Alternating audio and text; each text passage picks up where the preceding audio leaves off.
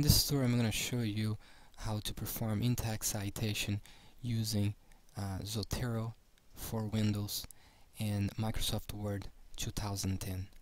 Assuming that you have installed the Microsoft Word plugin for Zotero, you should see um, under the tab called Add-ins a list of icons that per, uh, belong to uh, Zotero. Um, and for this particular example I have four cases uh, two of which are short quotations and two paraphrases. So I'm gonna uh, go ahead and get started by uh, selecting the style that I want to use for this particular example. I can do that by uh, clicking the icon the gear icon um, that allows me to set the preferences for uh, my style or for my in-text citation. In this case I'm going to use the American Psycholo Psychological Association or sometimes use uh, known as um, APA, uh, 6th edition in this case, uh, and everything else will be unchanged.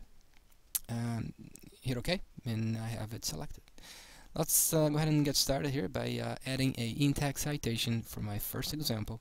In this case, uh, the authors or author uh, R is not part of the narrative. So in this case I'm going to add at the very end of my sentence here.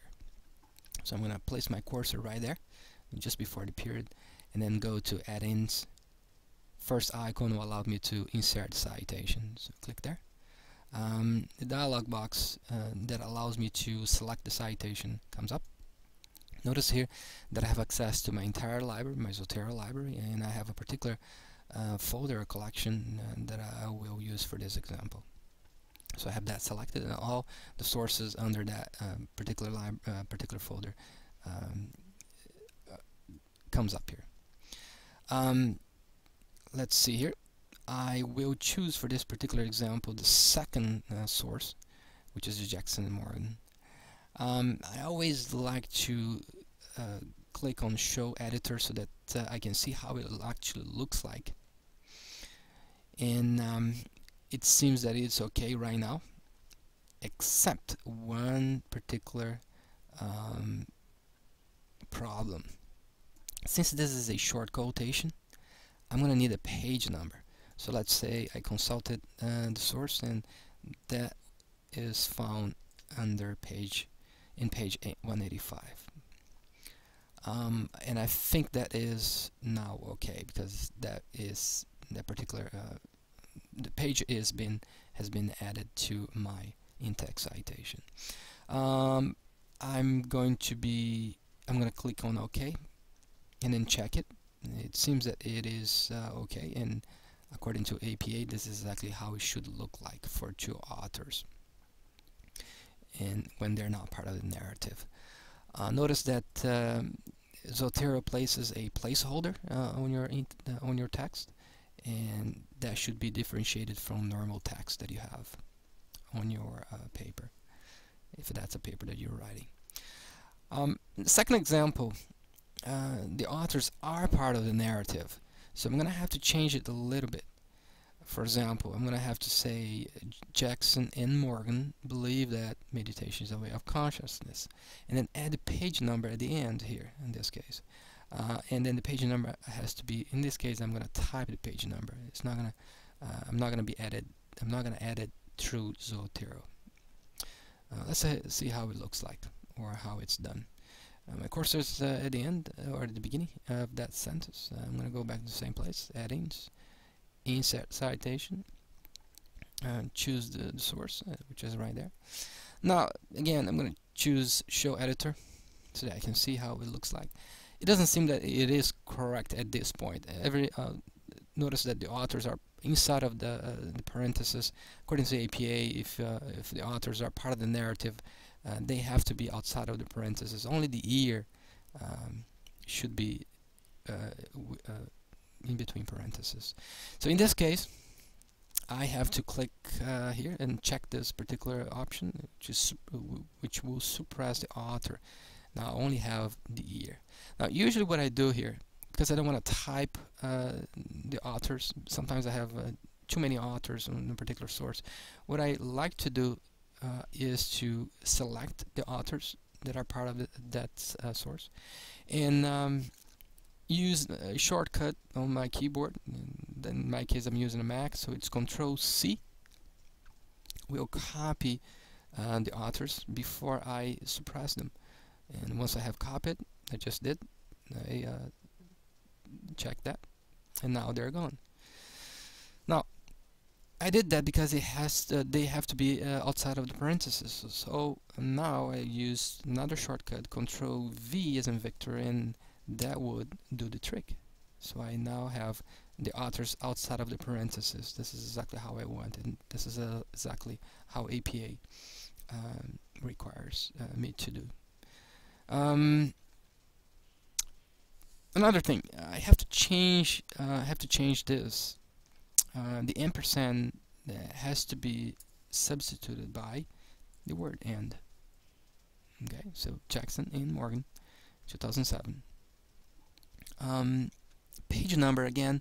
I'm gonna add the page number at the end of the sentence, and I do that by typing after the fact. So it seems that now I have done uh, OK here, and I'm gonna click OK. Now I have um, Jackson Morgan, 2007, Believe, and that meditation is the way up to consciousness, and then I will type page number at the end. In this case, to be consistent, uh, it's 185, as I have done in the past, uh, in the previous example. Um, now I have two examples for paraphrase. Again, paraphrases uh, are, are, situations in which uh, I use my own words I basically read what uh, the sources uh, tell me and uh, I come up with my own interpretation of what it is where I use my own words to describe what it is, the idea. Um, there's evidence that uh, one can reach consciousness through meditation, same example, but again, there's no page number here. So let's go ahead and um, pretty much do the same thing we did before, uh, except no page number will be added. So add-ins, go to the first uh, icon, select uh, Jackson Morgan, which is uh, uh, my source that I've been using. show show editor, and then um, it seems that is okay right there. No page number. I'm going to click OK, and that will do it.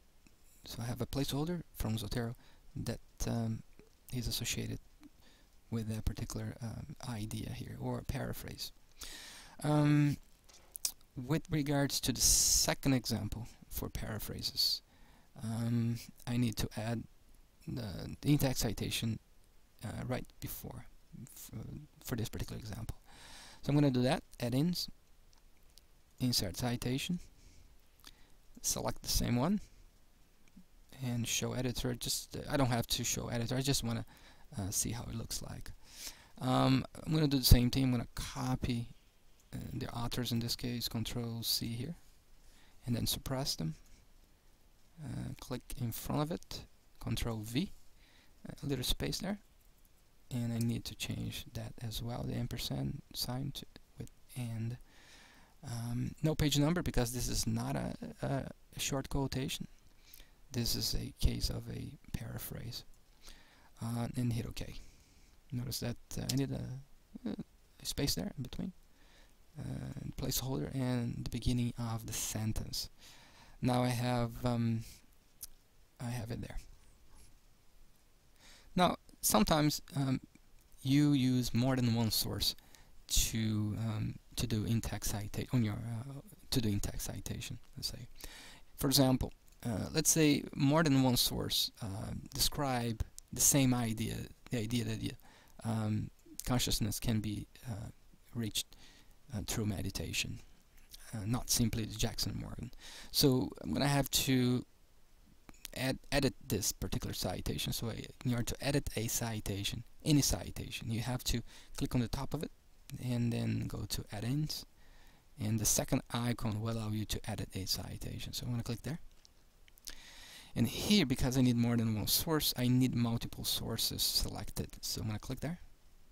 And the first one is there already and uh, I'm gonna just choose one here it doesn't really matter which one and let's say Clark and I'm gonna uh, click the little uh, arrow there in the middle and that would move that particular citation from here source from here to my uh, uh, my current citation list. Um, again, I'm going to sh show editor and see how it looks like. And because this is a paraphrase, there's no need for page number. I'm going to click OK. And now I have it a little slightly different, but now uh, uh, slightly different with two sources. To complete this tutorial, I'm going to show you how to add, insert a bibliography at the end of your work. So for example, uh, I'm going to use, uh, I'm going to call that works cited. Some, some people like to call it a reference list, uh, list of references. It doesn't really matter what you call it. Uh, and here I have a, uh, the cursor is where uh, the reference list will be. Um, I'm going to go to the same place, add-ins, and choose um, one, two, three, the third um, icon, which allow which allows you to insert the bibliography. Uh, Zotero call calls that bibliography. So let's go ahead and do that. Click here, and wait a little bit. It should add then uh, all the sources that you have cited previously.